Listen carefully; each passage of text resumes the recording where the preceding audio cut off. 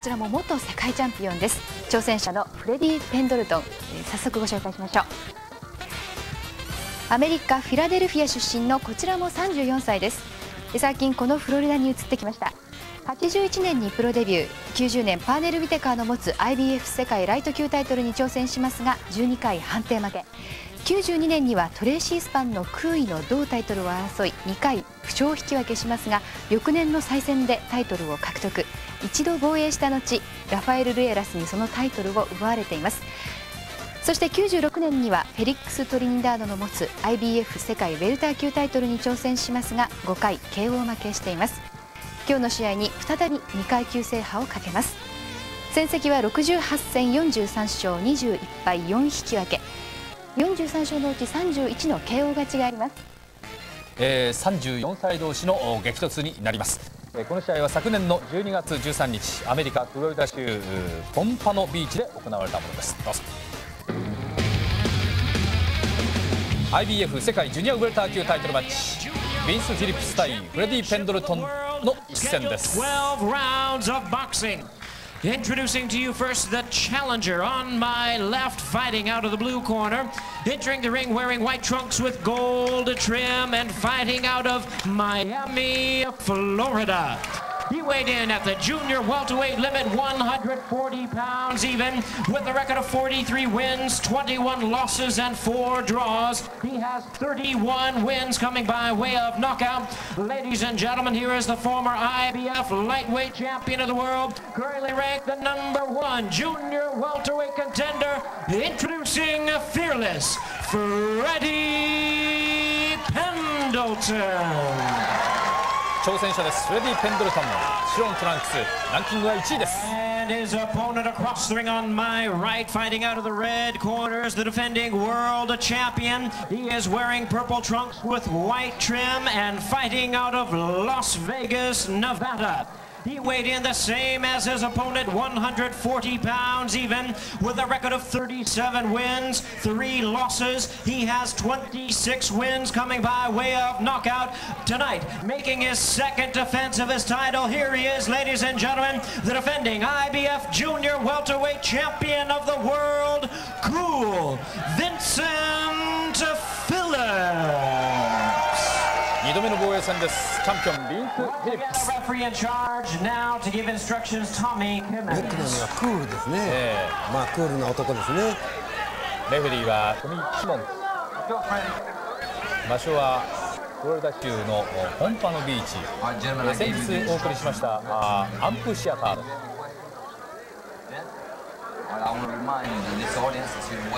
目線を合わせませんさあ浜さん、えー、この試合のポイントはどの辺に置かれますか、まあ、あやっぱりあのチャンピオンのフリップスですね、えー、アイコーティに負けた試合なんか見るとどういった感じか分からなかったですよね、ねまあ、この試合が本当に、チャンピオンとしての大人の拝見でしょうね。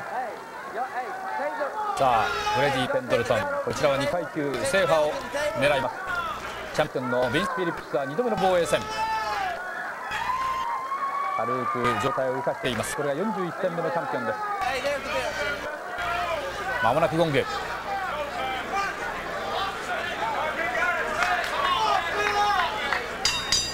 さあ試合開始です。IBF 世界ジュニアウェルター級タイトルマッチ。12回戦。いいオープニングヒット取りましたね。最初に右当てましたよ。このペンドット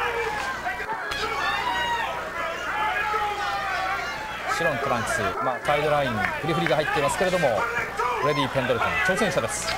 指名試合ランキングは1位。いい打ち下ろしてきましたがこれは当たっていません。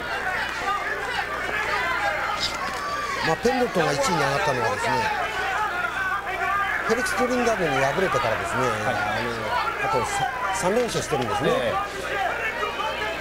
ー、これいずれもノックアウト勝ちらしいですね、まあ、TKO もあります。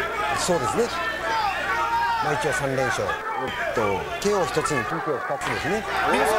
おお捉えました。チャンピオンのパンチです。フィリップス。この試合は両選手ともスピードあるんですね、えー、両者とも4か月ぶりの試合になります。IBF 世界ジュニアウォーター級チャンピオンシップ。タイトルマッチです。前回の試合フリップスが8月の9日ミッキー・ウォード相手に3ラウンド TKO 勝ちを収めました。以来4ヶ月ぶり。一方のペンドルトンは8月の11日ケビン・セダンという選手とやって1ラウンドノックアウト勝ちを収めています。フ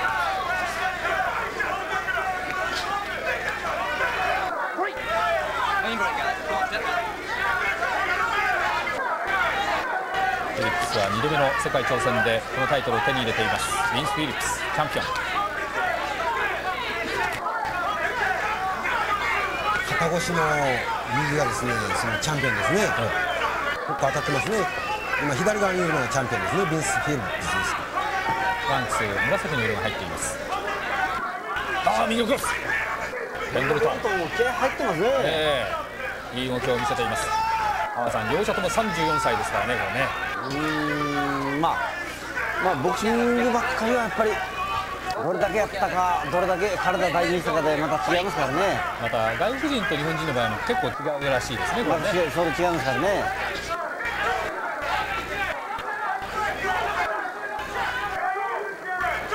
あとその選手がどういう勝ち方をしてきたかどういう戦いをしてきたかもだいぶ影響しているようです。ボディを打ちに行きました。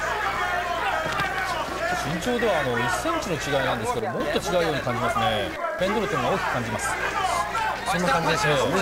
実際ペンドルトンが1センチ大きいんですけれどもっと大きいようにも感じられますが構え方の違いなんでしょうか？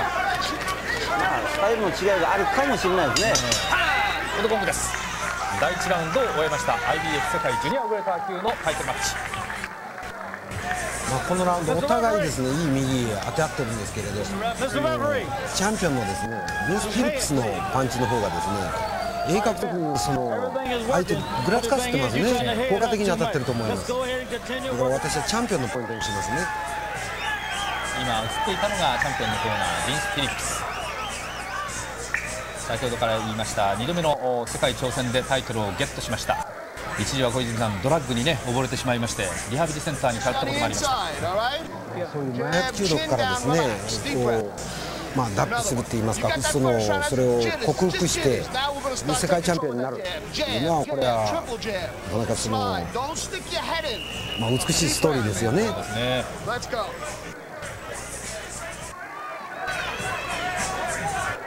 チャンピオンのビンス・フィリップ。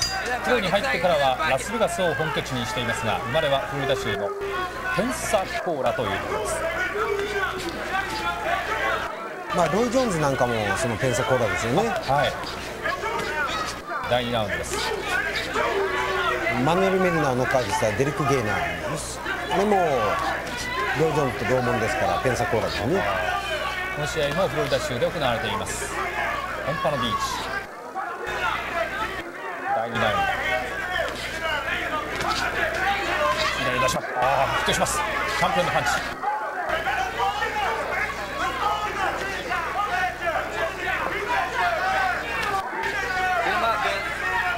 チャンピオンのビンス・フィリップスはですねちょっと地味なんですけれど、まあ、不合地味ですけれどねなかなかその正統的なボクシングしますね、ジャブついてそしてワンツーのストレート打ってきますね。その右にパンチありますね。丁寧に左のリードブローを伸ばしていきます。ビンス・フィリップ93年の1月試合後の検査に、えーそのドラッグ検査かかってしまいましてほぼ決定していました。当時のチャールズ・マレーとの IBF ジュニアウェルター級の王座決定戦。こういった試合が予定されていたんですがそれを棒に振ってしまいました。まあしかしその後構成しまして立ち直っています。ビンス・フィリップス。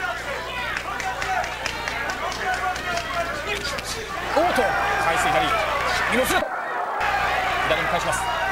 右が強いんですよね、えー中身右のクロス。これはスウェーデンバック、えー、かわしています。ペンドルト。ンペ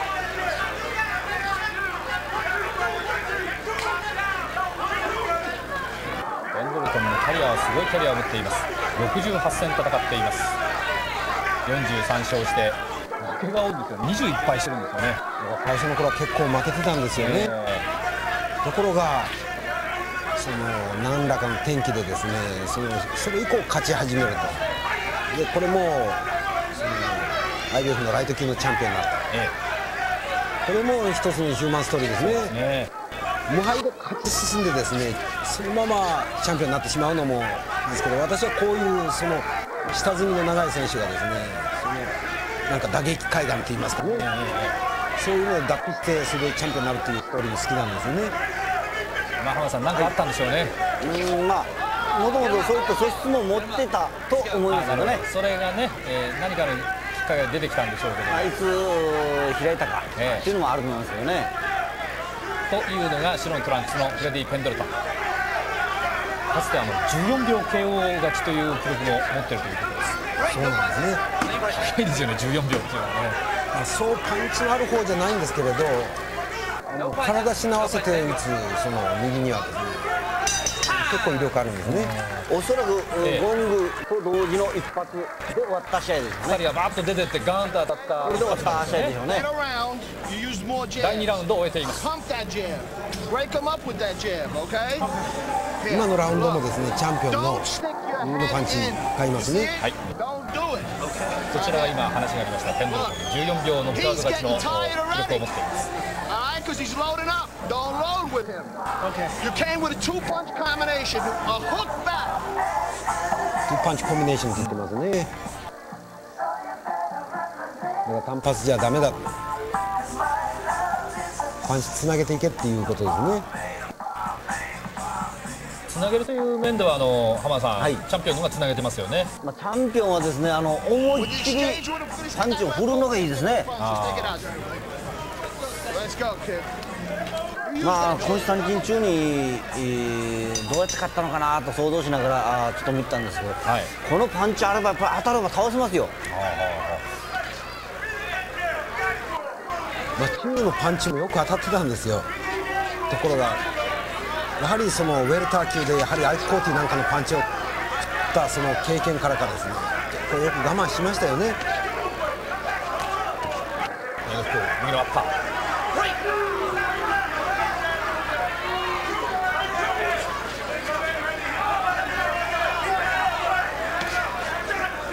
ボディを打ちに行きました。チャンピオンです。さん両者ともこう一発を持ってますよね。感パンチありますね。よあのパンチ切れてるんですけど、えどっちも当たってもダウン取れるうん今日の調子ですね。そうですね。ええ。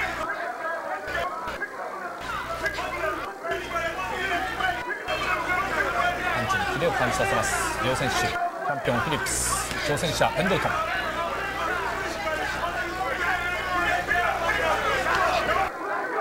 このペンドルトンはその IBF のライト級タイトルラファエル・ルエラスにタイトル取られたんですけどねその時もダウン奪ってますよね。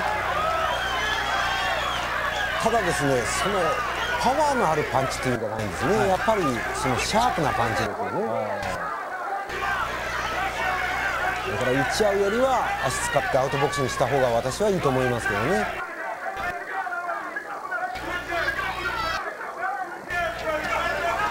ライト級のタイトルを取った時には一度防衛に成功しています。フレディ・ペンドルトンこのタイトルを取れば2階級制覇ですもっとレフェリーの方ちょっと見ましたその初防衛戦がはい。93年のですね7月17日ホルヘ・マロメロ・パイスに判定勝ちした試合ですねあははでその時に私はあの韓国の金メダリスト金鉱山ですね、金関数マッチメイキングしてマイケル・カブラハルとの試合でラスベガス行ったんですけどね。1回目か2回目にマロメロ・パイスダウンしたんですよね。それですぐ進行係呼んできてこれ試合が早く終わるからお前たちすぐ用意しろおっと足をかかっていました。ちょっとしてましたよ。はい。それにせかされた思い出がありますね。あーそうですか。だから控え室はその近くにありましたまあ、パイスと言いますとリング上の曲芸師と言われていた選手ですけれどもまだパイスが力がある頃ですよね。そうですね。まあ力がちょっと落ちかけてきた。近く頃でちょっとピークするところですから、はい、なるほど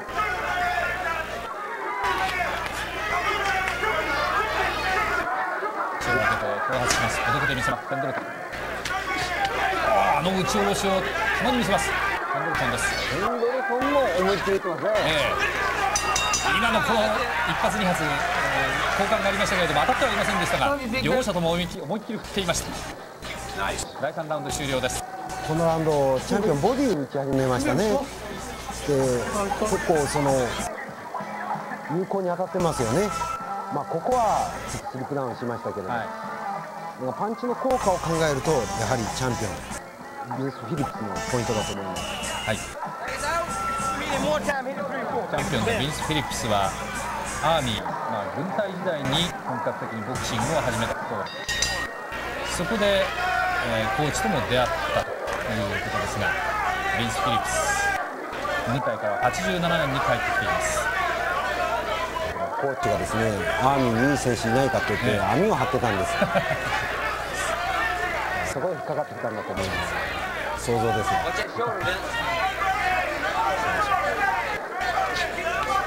オーソドックスなボクシングしますよね、そのアダムコーチというんですが、そのコーチに叩き込まれたんでしょうね、おそらく。どちらですか？そう、ミス・フィリップスの、ね、そうですね。ペンドルトンのボクシングスタイル、おっと右、肩越しに入れてきました、チャンピオン。この選手、挑戦者の方は体にバネがありますね。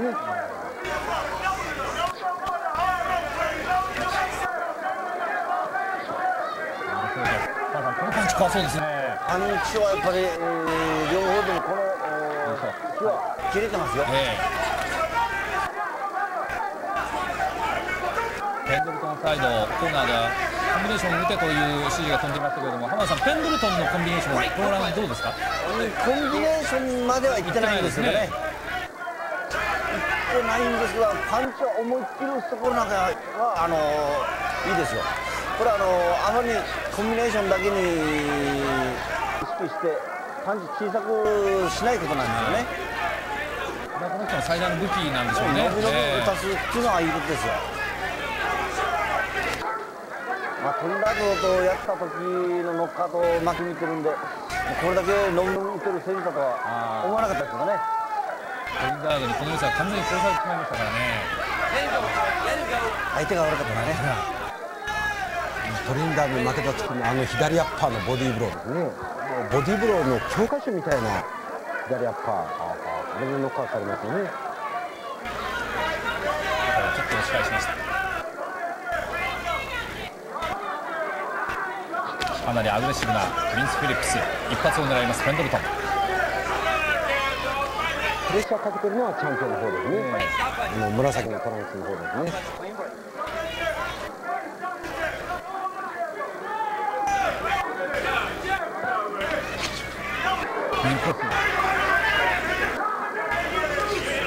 また右を打ってきました。いきなりの右です当たってはいません左を振りましたこれも外れペンドルトン、まあ、このラウンドまで来てですねあのペンドルおっとっとペンドルトンはですね、はい、チャンピオンのパン強引なパンチにつられてるところあるんですねチャンピオン思いっきり振ってるんでつられてペンドルトンの方も力んでしまってますねそれはありますね相手が振りが大きくなったり力込めて打つとですね。これ格闘技ですからねつられてですね相手のリズムに巻き込まれて強く打ってしまったりするんですねコーナー帰ってきて冷静に冷静に落ち着いてストレート打ってけ出たり入ったりしろ。動け動けって言うんですけどね、まあ、このラウンドもチャンピオンそしてフィリップスの方がその有効が多かったと思います。ペンドルトン空回りしてますね、はい、左で距離で確かめずにいきなりその右に持っていきますから。空振り多いですね。柳さん資料見ないでこれちょっと見てください。いや次のこと言わなきゃいけないですから。はい上げた途端にシーンが変わっておりました。浜田さんあのボクシング的にはビース・フィリップスはかなりのアマチュアキャリアを持ってます、はい。えー、私の資料によりますと全米のゴールデングラブ優勝して90勝10敗というトータルなんですけどもそういったあかつてのそういうアマチュア時代の名残というのは何か感じます？まああのー、基本はそこで、えー、叩き込まれてできているとは思いますけどね。それにやっぱりパワーがついてますよねああそうですよね、はい、かなりでも変わってきてるんでしょうねこのおそらく。ただやっぱりアマチュアのボクシングだけだとですね、綺麗さだけだけ綺麗さだけなボクシングだけだったら、押し込まれてしまいますからね、やっぱりえー、格好だけでやる競技じゃないですからね。いくら相手に当てて、ええ。ー、勝つかの競技ですから。そうですね。ええ、いうためにはやっぱりあのトーマス・ハンズあたりなんかもアマチュア時代は乗っかってないんですよねあんまり。プロ入ってからやっぱパンチきますよね。特に重量級あたりになるとやっぱりパンチ力がもの言いますから。ええ。アメリカのプロのトレーナーっていうのはパンチを強く打つその教え方っていうのはうまいですね。ウェイトの乗せ方とか。えー、あ飛び。に。あと連打します。飛び。に。皆さん。がヒットしました。フィリップス。してますよね。ます。リードを選手をというペンドル足がついていきます。になりまして足がついていきませんハンドル合わせ一歩おっとフィリップスもちょっと振りが大きくなってますね、はい、これが2度目の防衛戦です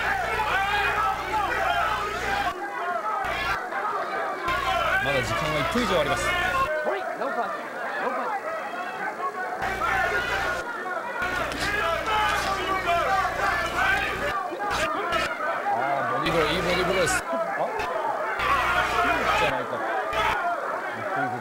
ちょっとアピールしてたんですけどそれは低くはないですね、えー、自分も打っていったんですけれどもその間に一発打ち込まれましたそれは低いんじゃないかというアピールだったんですがペンドルトンペンドルトンよくレフリーの方見てますねこの試合そうですねまあ予想するより相手見てですねパンチ打ち返すことですねちょっと性格を出してるのか見てませんうんまあちょっとあのレフリーに反則を取らせようという、えー、そういったところがありますね。ますよね。何かに偏ろうというようなそんな視点を持っています。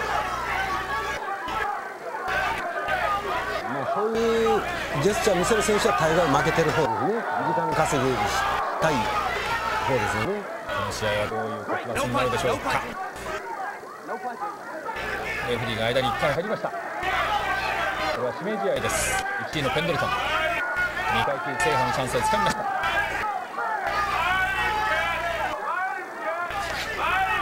頭が当たりますボディ打ちたいですね、フィリップス。ああ、しかし倒しきることができませんでした。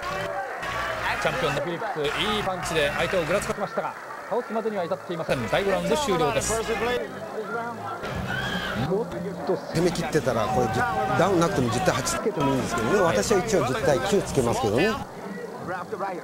山さん、打ち合ってる間にちょっと回復したようですね、まあ、踏みとどまるようになりましたからね。あのー、チャンピオンのフリップスもですね、いいパンチ当たった後に力んでしまって全部空振りでしたからね。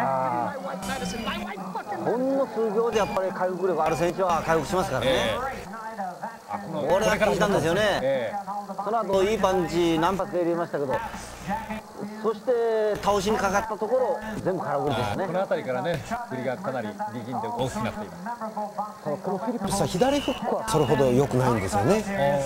あれ来たらもう左フック持っていかないといけないんですけど左フックはもう本当の手打ちですね、えー、ただしストレートはいいですよね。さあ第6ラウンドです。あのシーンは前半だったんですがちょっと時間が空きました。このラウンドはどう出ていきますか。チャビンス・フィリップ。それは何から何までその兼ね備えてるのはもうリカルド・ロペスぐらいのもんでですね。みんなその結構欠点ある同士がですねお互いに自分の長所を出して相手の長所を殺してそれで戦い合ってるんですよね。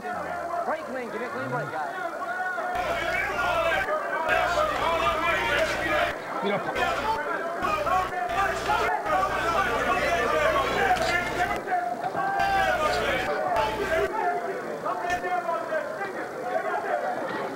また左を出し始めましたフィリップス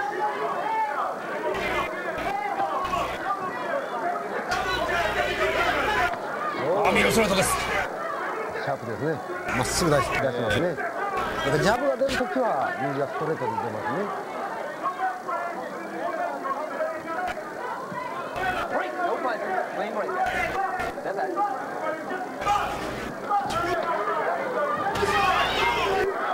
左のフックというのはないようですね。あの切り返しの左フックというのはあれだけ右を体腰回転していってると切り返して効くんですけどね。その左フックはないですね。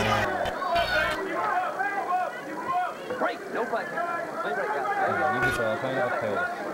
右のストレートでしかしチャンピオンになっています。ビンス・フィリップス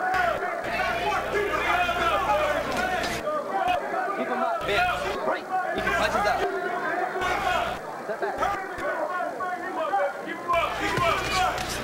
ルネイチこの左をもらってしまい。ました Hey, you Bend keep over. your punches up. なんかボディブロー低かったんですけどね、えー、チャンピオンは自信があるんで全然強くしてなかったですね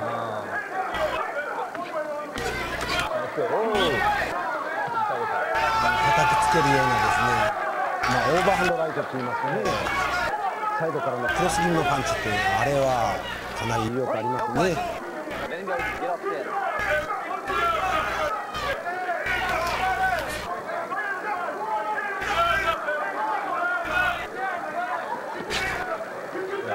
Right, No punches. Step back clean.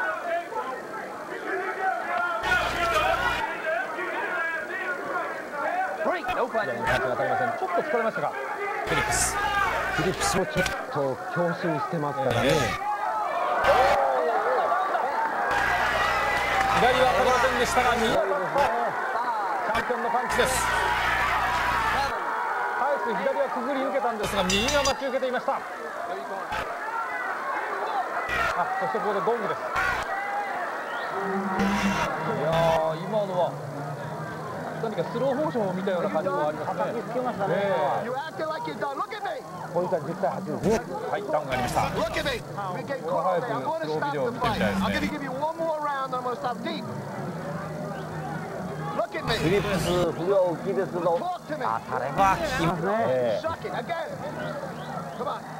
クトゥミーって言ってですね、俺なんか喋ってみろって言ってるんですね、分かってるのかって言ったら、なんかペンダル君答えましたよね。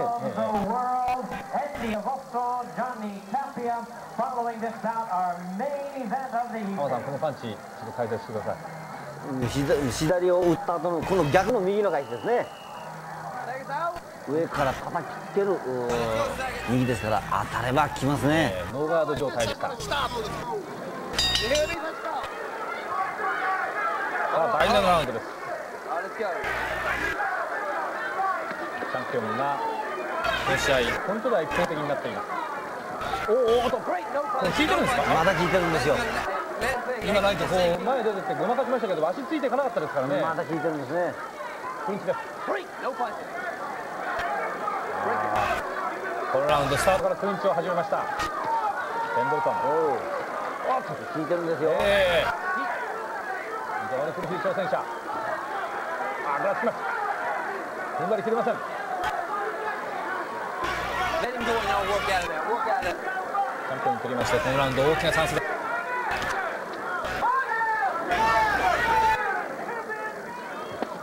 ボディーブロー左当てます。左当てます。時間はまだ2分以上あります。左。左ますよ効いてますよ体を入れてンチに行きます.フレディ・ペンドルトン非常に苦しくなってよまたまた叩きつけましたね中途半端に出した相手の左をかいくぐってのクロス.右をかぶっていきました続行か続行ですあと1分30秒あります。あーっとダウンスリップですねスリップですか Let's go. 小さなパンチを進んでいきます。おおで左が当たりましたペンドルトン右クロスペンドルトン逆襲です左に右のショート視界線の一発が入りますか一発当たるとボクサー1回ときますからね、バランスを崩します。ちょっと振りが大きいですね。あと1分。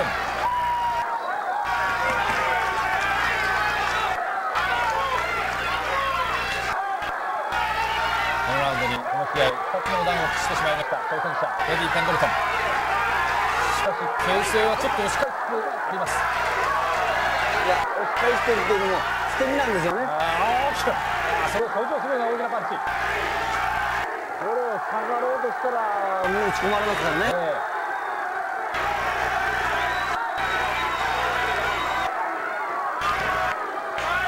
え効いてますよ。えうまく相手の攻撃をかわします。体を預けていきました。体を預けていきました。ミロスルートこれ当たりません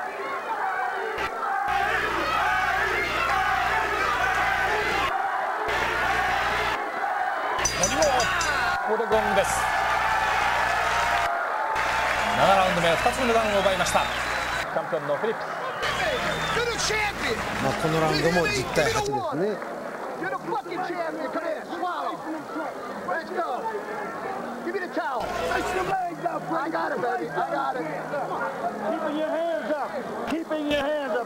ブリングンズアプって言ってますね。All you gotta do is set and wait for him. His shot is wide. Okay? Let him work on the gut. You're falling in when you're throwing your punches. You gotta step back this guy's gut. 相手がその体を持ってきてクリンチに行こうとするときにあの叩きつけるようなフック気味のパンチですね、あれを打てるとですねそのああいう倒れ方しますね前に飲めるような倒れ方します第8ラウンドです。IBF 世界ジュニアウォーター級のタイトルマッチです。12回戦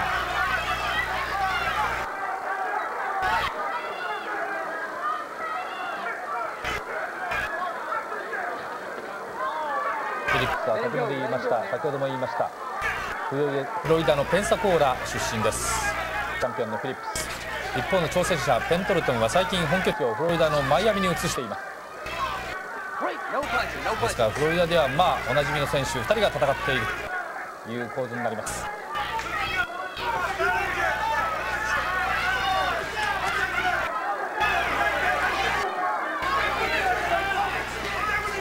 2つ目のダウンを期したあーペンドルトンですが浜田さん割とこの人回復早いんでしょうか、あのーまだ聞いてることは聞いてますよ。えただあのーその聞き方も回復もおする選手ですね、えはい.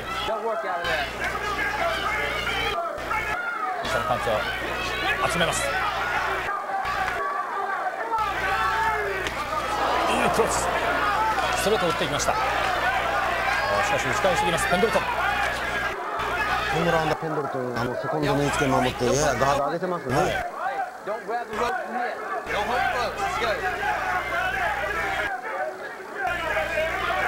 ただセコンドの指示をですねあの疲れた時3分間聞ける選手っていうのはなかなかよっぽどよく練習してる選手ですね、最初の1分間は記憶に残ってですねトレーナーあるいはセコンドの言うことを聞くんですけれどもうあとは忘れてしまうことがありますね。その時に自分がどう動いてどういうふうなパンチ避けられるかって言ったら普段のトレーニングの賜物なんです。条件反射で体動くか動かないかなんですね。残りの3分の11分が今.回っています切っています第8ラウンド Great. No punching. No punching. No punching. Jab him.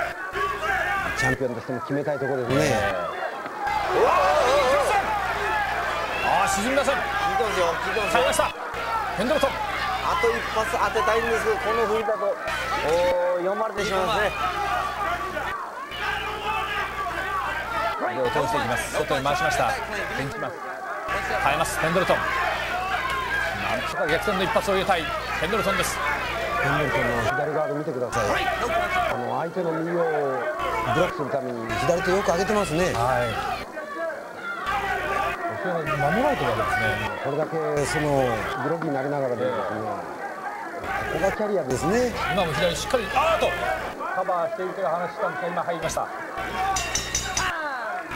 かし最後の最後ゴング直前まで左は上がっていましたポイントはやはり10対9チャンピオンビンス・フィリップですねまだペンドルトンが奪ったラウンドはありませんそれどころかちょっとスタミナもだいぶ落ちてきたようなそんな動きになってきています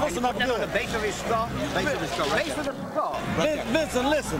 Don't don't try to head hunt so damn much. The guy's got your body. Keep your hands up, bend your knees, turn the shots the body, straight up the middle. Come with the right hook, back with the left hook. Pivot around to the right side, drop the right ボ hand ディ.叩いて右叩いてそれで左フック返してそれでまた右へ行ってインサイド叩けって言ってますね浜田これいいパンチでしたねいやいいパンチでしたけどよく踏ん張りましたね、ええそれだけ左がねちょっともう流れてたんですねガードがまあベンチ・フィリップスって基本的にはジャブワンツーのボクサーだよね。だから、まあ、ワンツーって言ってもですね右はクロス気味のフックであったりするんですけどタイム的にはもうワンツーのそのタイミングのボクサーですね。右を合わせていこうという感じがありました。ペンドルトン。左ボディブローです。左から始めています。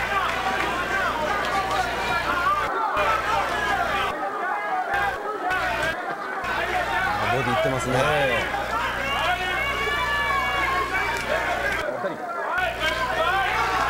ストレート。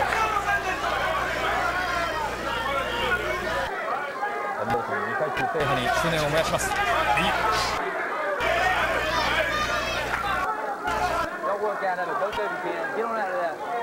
チャンピオンのフィリップスと2度倒されながらしっかりと打ち合っています。第9ラウンド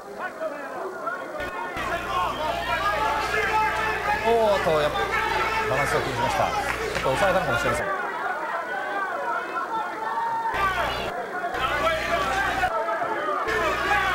落ち着いてペンドルトがガードを固めます。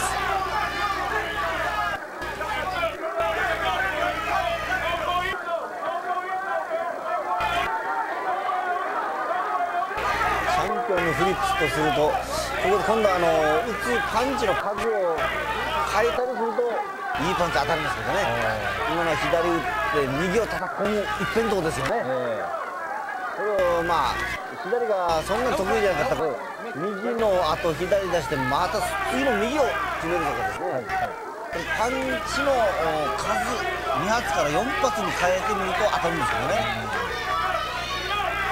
今その2発のパターンを読まれてるんですね。そういう打つ数のリズムというのは変えられるもんですか？えあの変えようとしないとやっぱりなかなかまた当たらないですよね。第9ラウンドまで深まっていますけれどもそれもやっぱりボクシングのセンスの日なんでしょうねまあ練習にもよるのかもしれませんが.まああのー逆にペンドルトンの方もですね、えこのリズムに慣れてるわけですよね。このリズムをあのチャンピオンの打つパンチのリズムですよ。チャンピオンの打つパンチのリズムに慣れてしまってますからそのリズムを変えられると食ってしまうんですよ大きくバランスを崩しました。ペンドルトンダメージが蓄積しているのは確かなんでしょうけれども。まあそれにしてましても見た感じはタフですよね。そんなそうですね、えあのいいパンチ打たれた後に追い打ちを食ってないからまたダメージもえ回復してくるんで。す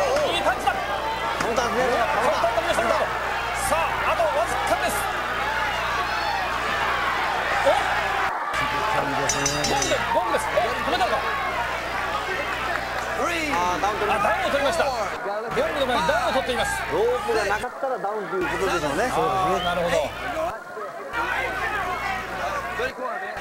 しかしこのラウンドはこ終了です。まだ戦闘体制戦闘可能だという判断でしょうまあ、ルール通りなんですけど、今、タイムキーパーは3分過ぎてもゴング鳴らさなかったですね、いや、3分でゴング鳴らさなかったですね、カウント続け続けてますから、カウントが終わってから、そのゴング鳴らすんですよね、それが正解なわけですね。それが正解終わってから。そこからまた3分なんですね。今微妙だったからちょっとカンカンっていうのは音が入ってましたけれども思わず流したのかもしれません。ここでですねロープがなかったらダウンと見たんですね。この直後にカンカンとなってるんですねまあ、ホリフィルドとそのバート・クーパーの時にもああいうダウンありましたね。ボールあのロープがなかったらダウンと判断して、リングラインが止めたケースがありました。だからあれは普通の日本でやるようなスタンディングカウントではないんですよね。えー、第9ラウンドはまた10対8ですね。チャンピオンですね。ワンサイドゲームになってきましたね、10ラウン。ド目はいペンドルトン。がしぶといですねもうさすがにこのラウンドはちょっとペンドルトン。踏ん張りきれないかあーダウンですボディーブローかこれは勝てないんではないでしょうかあ立つか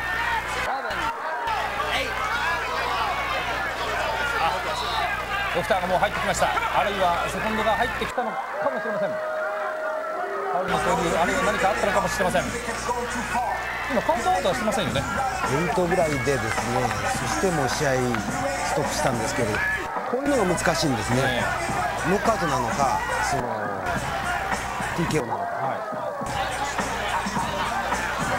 あのスペイン語ではですねラテンアメリカ圏では nocaut efectivo っていうんですね、効果的ノックアウトっていう effective knockout っていう意味なんですね、あのルイシトがあのアレハンドロ・ゴンサレスノックアウトした時にもうこれは10カウントしなくてももうノックアウトだっていうところあのカウント途中で止めてたんですよね。あれもノックアウト扱いなんですあれはノックアウトエフェクティーボなんですねこのケースがまさにそうですね。うん。だからそれを取るかどうかですね10カウントしてないからって TKO で発表する州もありますしであれはもうノックアウトとみなすよりする州もあるんですね。